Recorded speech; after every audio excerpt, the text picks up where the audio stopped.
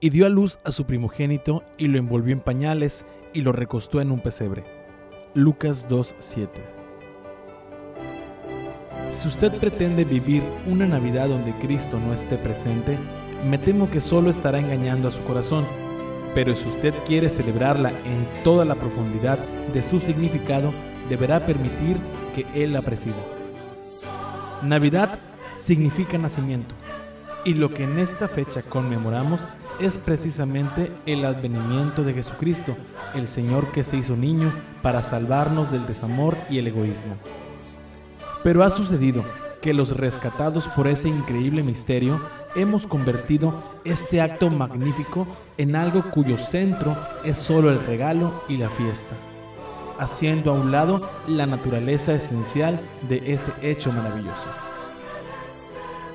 Más allá de los dogmas y profundos análisis teológicos incomprensibles para muchos de nosotros y que solo importan a los eruditos, los demás hemos hecho a un lado la sencillez que la majestad de Yahvé, aquel que es, quiso hacerse presente en nuestro ropaje mortal, para que no sintamos temor de acercarnos a Él, con la vestidura simple del pobre, para que lo veamos como uno más de nosotros y sin el despliegue de la magnificencia que hubiera podido mostrar, para enseñarnos que el amor auténtico no necesita de fastuosos escenarios para manifestarse, por muy importantes y encombrados que seamos o creamos ser.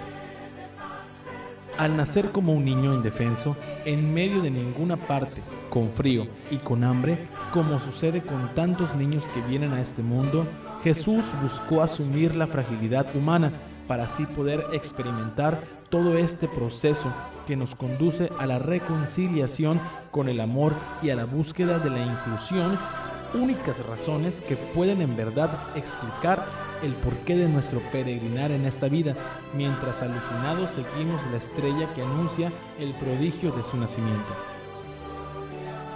Pero sucede que a veces perseguimos, cegados por su oropel, los valores de la superficialidad que nos ofrecen otras estrellas, cuyo brillo fatuo apenas y se asoma, para enseguida desaparecer sin dejar huella de su aparente esplendor. A menudo preferimos privilegiar con nuestra admiración y nuestro aplauso a quien con su vivir nos muestra la errónea paradoja que solo conduce al vacío existencial, la estéril lucha por el tener pero olvidándose del ser. La búsqueda indiscriminada del placer a costa de la angustia que produce toda adicción destructiva y el apego al fuego fatuo de la fama, aunque nos traiga consigo la ausencia del sentido auténtico que nos da el trascender en los demás. Todo lo contrario a lo que Cristo, pobre, sin una piedra sobre la cual colocar su cabeza, nos mostró con la verdadera fuente de la sabiduría y que finalmente era Él y su buena nueva, auténtico camino, verdad y vida. Pero es evidente que todo eso no significa que usted y yo no podamos también celebrar ese advenimiento con la fiesta, la cena y el regalo, mientras eso no suponga tener que expulsarlo a él de su propia revelación ante el mundo, dando prioridad solamente al otro. Basta que le recordemos agradecidos que su nacimiento no ocurrió en medio de un bucolio paisaje, ni entre príncipes ni magnates de la tierra. Cristo nació en la oscuridad de la noche, en un pueblo perdido y en un humilde pesebre, porque no había para él lugar en la posada. Por eso una Navidad que no nos recuerde su nacimiento es una contradicción en sus mismos términos. Es una burda caricatura de un hecho sublime, la memoria de un evento insercialmente repetido, culturalmente aceptable, estacionalmente conveniente y como anécdota algo quizás conmovedor, pero que equivaldría a tener una fiesta sin festejado, un pintor sin luz entre las manos o un arcoíris sin colores. ¿Cómo será su Navidad? Será solo la expresión reiteradamente vacía de un deseo de felicidad donde Cristo no está incluido? ¿O será acaso la expresión viva de que ojalá esa esperanza cuya luz hoy nos alumbra permanezca para siempre con nosotros?